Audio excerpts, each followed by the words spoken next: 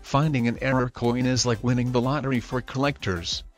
A pub worker discovered a £1 coin that was minted from just one metal not two, which went on to sell for £205 on the secondary market. You see, normal £1 coins have a gold-colored nickel brass outer ring, and a silver-colored nickel-plated interior, but this rarity was completely gold-colored. Understandably this lucky find was immediately added to eBay, and the uniqueness of the coin meant there were 24 bids from 5 interested bidders, before it eventually sold on August 8 for the unbelievable price of £205.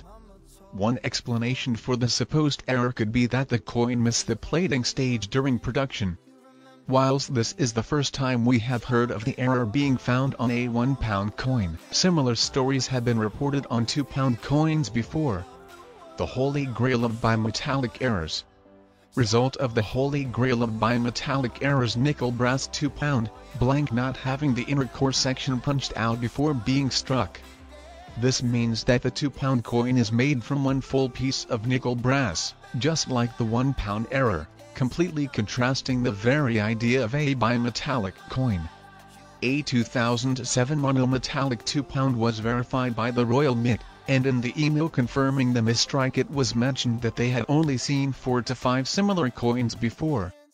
This rare striking error is highly sought after, and coins have achieved extraordinary prices in private sales and auction.